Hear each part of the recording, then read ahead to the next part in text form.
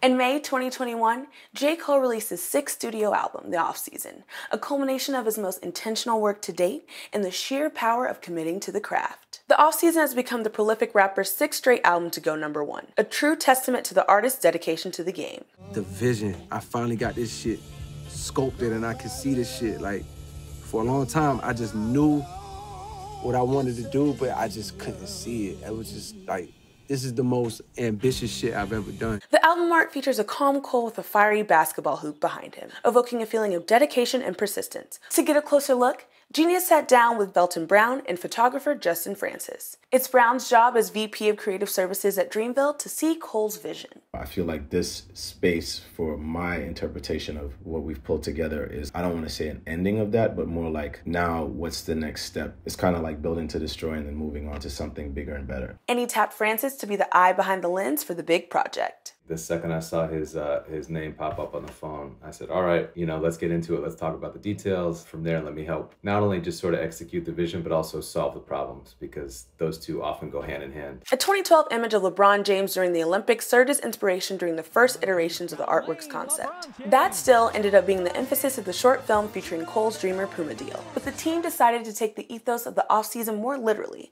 by focusing on the fundamentals. Cole has uh, these these drills that he does when he writes. Let me try to reach new heights from a skill level standpoint. Remember I told you about the seven minute drill? Mm-hmm. Like I put myself through drills. I really try to work on my craft to like just reach new heights and push myself. So we have to keep the sports theme, but we can't make it feel or look like anything else that we've already put into the world. The offseason serves as Cole's latest basketball themed album rollout. From the warm up in 2009 to today's body of work in 2021, there's a definitive progression in skill and artistry. Don't do that, yo, who that? He repped the field when he spit it. Told you he'd be back with a record deal and he did it. Nigga, fuck spinning on my pivot, homie. I'm finna travel to the refs, blow the whistle on me. I feel like in that time, even just from a fan perspective, I feel like he wasn't super all the way well rounded yet as an artist, but he was dead nice and he was really sharp with his pen. Beginning of warm up, he's outside in the snow, and then we get to the end. It's heat, right? Like fire usually is the ending and, and the rebirth of something new. Just know these verses is some shit they gon' forever play back, nigga.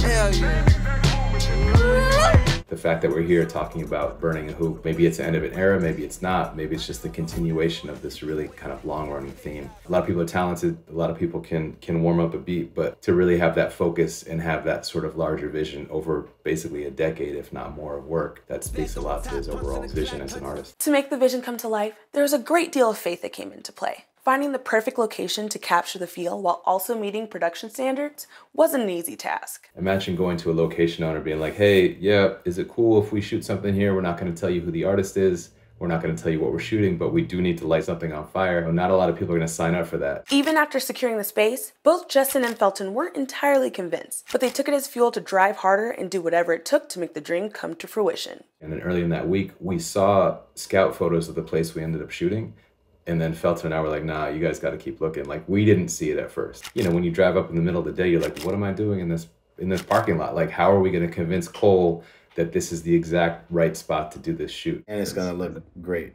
Like you got to right. see it inside your head. It just, you know, gave us that much more homework and, and made sure that we had to try that much harder to make it good. The nonchalant expression on Cole's face contrasts the most temperamental object on set, the flames. Incorporating fire into production adds an extra presence in the mix, one that's difficult to control. It's so hard to get the level of smoke right timed with how the hoop is burning and a lot of times it was like oh man this this was perfect while that was fading and or that was way too heavy while that you know that was was getting right. As you know there's no like fader knobs. You can't just sort of dial it in. It's all about timing and whatever you know mother nature has in store for us at that moment. When it came time to pick up the camera cole made an executive decision on set that helped deliver the powerful work. After we had it all set up and, and going and lit perfect. Ultimately cole's like let's turn the lights off. Cole is an artist who likes to see what we're doing as we're doing it as opposed to being like hey let's just shoot a bunch and then I'll show you later. He, he really wants to be part of the process. So I feel like the image that was ultimately selected was one where, you know, he felt he knew exactly what it looked like that made him confident to,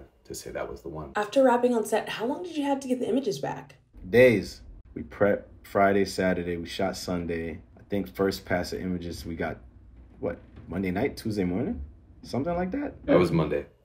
See, look at he's just he's like Monday. No, no, it was Monday. And and Phil and I have our process. We understand timeline, deliverables, all the corporate shit, right? You know, Cole, it's his prerogative to be like, you know what, I'm just gonna drop this now. He's like, look, this image is hot. I'm gonna do this. I want to do that, and you know, it's shall we say non-traditional, but he's earned the right to make those calls. As he etched another tale in his musical story, Cole also entered a new arena, debuting in the Basketball Africa League and accomplishing a childhood dream of playing professional basketball. This becomes yet another chapter in the life of Fayetteville's own, one that allows us to see new heights for ourselves through witnessing Cole's journey. What I love about the story is it meets this not even a crossroads it meets it meets a point in the road where there's multiple ways to take it and that's all a part of the story that is jermaine cole. I'm delisa with genius news bringing you the meaning and the knowledge behind the music